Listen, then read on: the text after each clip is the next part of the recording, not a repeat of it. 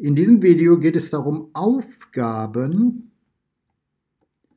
aufzuspalten, also Aufgaben aufspalten. Und zwar ist gefragt nach den Prinzipien, nach denen man in der Ablauforganisation Aufgaben aufspalten kann. Ja, wir sind also in der Ablauforganisation. Und wie der Name schon sagt, geht es hier um Abläufe. Moderner sagt man auch, es geht um Prozesse. Und die Frage lautet, nach welchen Prinzipien lassen sich im Rahmen der Ablauforganisation Aufgaben aufspalten. Also das Fragezeichen ist hier. Gefragt ist nach den Prinzipien.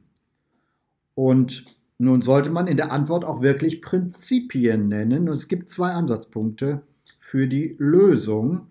Nämlich einmal kann man das machen sachlich. Sachlich bedeutet, man schaut sich die Aufgabe an.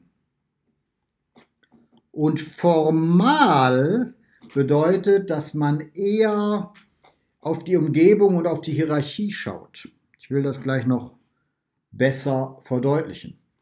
Wenn wir nun ein sachliches Prinzip entwickeln, dann gibt es zwei Möglichkeiten, zwei Prinzipien, um Aufgaben aufzuspalten. Nämlich einmal können wir das tun verrichtungsorientiert. Und das klingt furchtbar abstrakt, meint nichts anderes als das Was. Was ist zu tun? Und was tun wir am sinnvollsten als erstes? Was tun wir sinnvoll, äh, sinnvoll als zweites? Es ist sinnvoll, sich erst die Strümpfe anzuziehen und dann die Schuhe.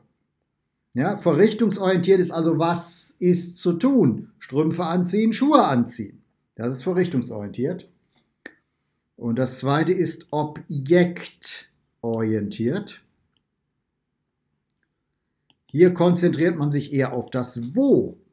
Wo wird es getan? Wobei man hier natürlich meint, an welcher Maschine. Objektorientiert heißt also, an welcher Maschine wird es getan. Das ist sachlich. Formal, da gibt es drei Möglichkeiten.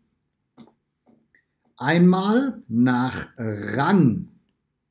Man kann Aufgaben aufspalten nach Rang.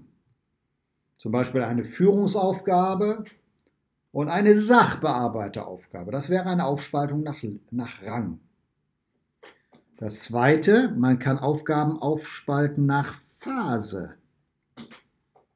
In welcher Phase des Ablaufs sind wir? Sind wir am Anfang, sind wir in der Mitte, sind wir am Ende? Nach Phase und nach Zweck. Welchen Zweck verfolgt diese Aufgabe. Okay, das ist die Antwort auf die Frage, wie man Aufgaben aufspalten kann, nach welchen Prinzipien man Aufgaben aufspalten kann. Und Sie sehen, das sind die Schlüsselbegriffe sachlich und formal.